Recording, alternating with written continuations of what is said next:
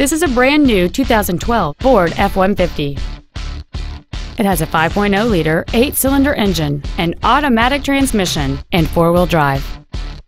Its top features and packages include an off-road package, a double wishbone independent front suspension, a limited slip differential, skid plates, a navigation system, a rear-view camera, a remote start feature, heated front seats, a speed-sensitive volume control system, and traction control and stability control systems.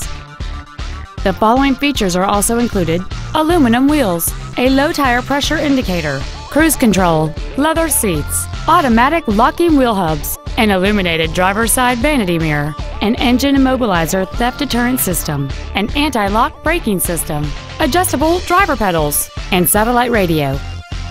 Contact us today to arrange your test drive.